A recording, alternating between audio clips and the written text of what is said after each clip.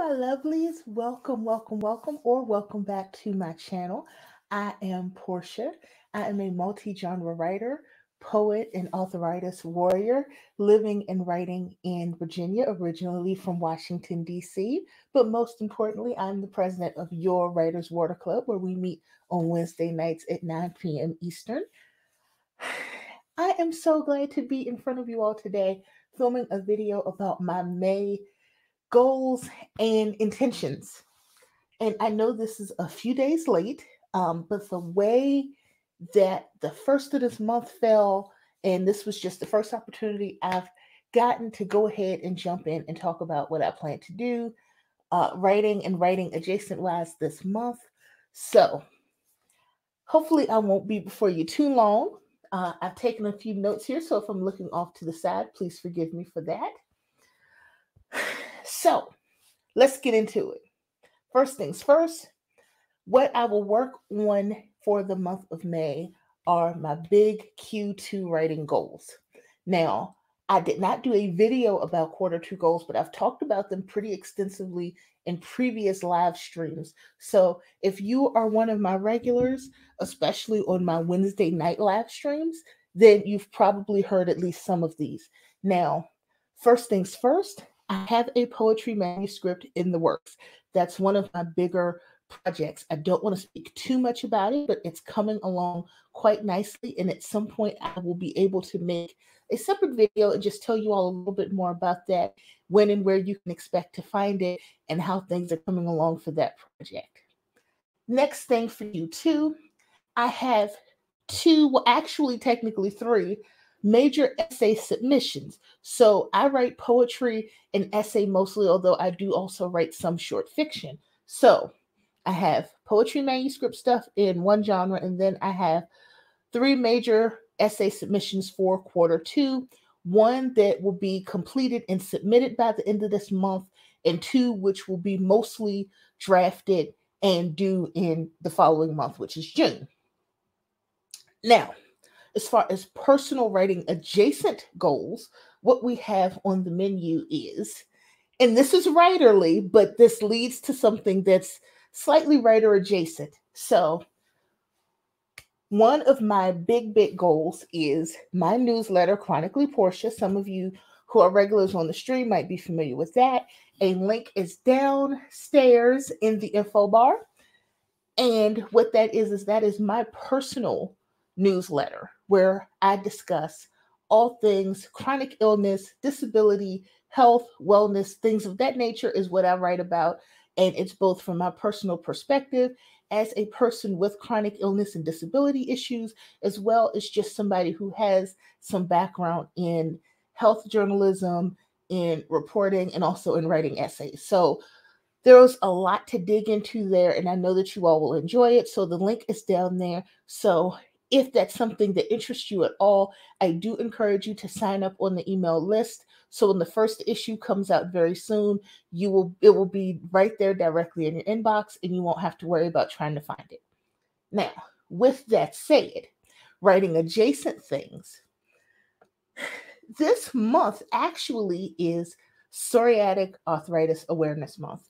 Now, psoriatic arthritis is what I live with every day it's a form of arthritis. There are over 100 types of arthritis. I know that prior to my diagnosis, when someone said arthritis, my immediate thought was osteoarthritis, um, because that's what most people think of as something that affects older, elderly people. And that is one very valid type of arthritis, but there are over 100 other types, including juvenile arthritis and many other autoimmune types of arthritis, which is what I have my autoimmune system basically attacks itself and causes me a lot of issues. Now, I go into that a little bit in a video that I shot um, a week or two ago about my infusions, but we'll get into that in its own separate video. But I will be talking about a lot of that stuff. But by this being Psoriatic Arthritis Awareness Month, I really want to get into a lot of awareness work. Now, some of that will be written, some of that will be appearing in the newsletter, but a lot of that will also be on psoriaticarthritis.com, which I'll make sure that I also link to that in the description box below. I am a newly minted writer for that site, and I'm really, really excited to share my experiences as well as just to share some information for people who want to know a little bit more about it. And I suggest it for people who have other autoimmune diseases, um, especially folks who have or are a family member or friend of someone who has any of the seronegative spondyloarthritis, which that is your um, lupus, your crystallizing arthritises, any of your spondylitis, which are spine affected arthritises. Um, so those are mostly in the same family. It, it depends a lot on different things because sometimes when you're talking treatments, things get broken up a little differently. Um, but these are autoimmune issues that are in the same family. Um, I say that because, especially people of color and Black people, uh, we tend to have autoimmune diseases that fall under these categories. Um, another one, which I did not know for a long time was actually autoimmune, is gout. So uh, I hope to spread some awareness to psoriatic arthritis, which is something that I had never heard of prior to my diagnosis. Um, it is a form of arthritis that also comes with psoriasis. Now, that said, it's um you don't you can have one more than the other. For me, I have more arthritis and pain issues than psoriasis, although I have both. Um, so I do want to get more into that. Also, May is mental health awareness month. And one of the other diagnoses that I live with, I live with anxiety and depression, uh, which were actually diagnoses that I had prior to my psoriatic arthritis diagnosis. So that's definitely something that I will be talking more about probably here, but definitely writing about in the newsletter and writing for I've written about those things for a couple of other publications in the past, and I'll probably be writing about some of those things again over the month of May. So that's writing, writing adjacent things for the most part. There'll be some other surprises. There's some other stuff that I can't quite talk about yet that'll be going on, but those are kind of the big things that I'm focused on. Uh, a lot of content for the newsletter, a lot of health related and chronic illness content. Um, I have a few really big submissions coming up in June, one at the very end of April that are essay related, a couple of them peer reviewed. So I need to really get working very hard on those things and the poetry manuscript, which is a lot of things. Now, with that out of the way and with those things explained, let's talk briefly about what I'll be doing less of in May. Now, I believe that you can't set goals and intentions without having at least an understanding of some things that you want to do less of. And for me, I have a couple of things here that are going to seem, possibly seem, a little bit counterintuitive, but I want to explain. One of my monthly goals for May, and something that I hope to be very intentional about for the rest of this year, actually, and moving forward, is taking less writing classes. I love writing classes. I adore them. If somebody's having a writing class, if it's free or even if it's not free, if I can afford it, if I can make it, I, you know, especially now, the last what 14 or so months since we've mostly been at home and a lot of things have been virtual, I've just been taking classes, not just all over the country, all over the world. The most recent class that I just finished is an Afrofuturism class that was absolutely outstanding and excellent. I have zero regrets about taking that class. That was a niche specialty creative writing class that was about Afrofuturism that was done so excellently. It was um, the teacher that I had for that was based in London. That was something that I did on Wednesday afternoons. I can't speak highly enough about that class. It was absolutely fabulous. It was a six week course. I would take it all over again every time she offers it if I could. That said, it's not that I'll never take another writing class again. It's that I want to be a lot more intentional. And I found that I was not being intentional enough with the classes that I was taking. And I found myself in a situation where I feel that for me, and I know this is different for every writer, for every person, for me, a lot of times my time is better spent doing the actual writing instead of attending so many writing classes. That's going to be different for everybody. For me, I need to put that time into if I'm going to attend something, then it needs to be something that is going to be a bit more challenging, or I'm going to be beginning with an end in mind, doing more fellowship type of things, doing things that are specifically geared to the types of content that I do, the types of writing, and that are specific to a genre or a type of writing or taught by somebody that I really want to take something, but it has to be very specific and not just my love of writing classes overflowing into me taking a writing class a couple of times a week because I'm finding that between the fatigue of my chronic illness and me taking so many writing classes that it's actually cutting down on the actual writing time that I have. And I can't let that happen. So, what I'm going to be doing for May and spilling over into the rest of the year, I'm going to be more intentional about the writing classes that I take.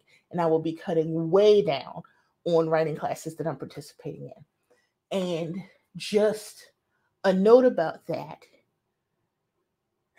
for people who are newer writers or for people who have not had the opportunity to take very many classes, I never want to come across like I'm saying that writing classes are not worth the time because they absolutely are. And there's a lot of fabulous classes out there. And I think right now, when classes are more accessible than ever to people who have disabilities or have a tight schedule or have children or are caregivers, I think this is an excellent time to take writing classes. I personally had to evaluate the amount of time I spent in classes with the rest of the things on my plate, and I needed to cut down for myself. And I also need to not hide behind being a student. And when I say hide behind being a student, that's nothing against being a student of writing, being a student of literature. But for me, I'm at a place in my writing career where I need to spend more time in the work and not using taking a lot of classes as a either procrastination or a, a way of kind of subconsciously or unbeknownst to myself i'm telling myself that i don't have the skill yet and i don't have it within me to get into the writing and just sit my butt down in the chair and do the work so i need to do more of the sitting down and doing the work of the writing as opposed to being in writing classes so much. So that's what I hope to accomplish for May and throughout 2021 is to be very intentional and decisive about what writing classes I take. And there will be far, far, far fewer of them than there has been. And a lot more submissions. So, um, for those of you who have not been around, I make a list every quarter with my deadlines. Um, this list that I'm looking at is already a little bit out of date. Um, had some things in April, some I hit, some I didn't hit, but this needs to be updated with a couple of other things. Um, take out some things I didn't hit, put in some new deadlines, but this is basically um, an idea for me of where I'm going.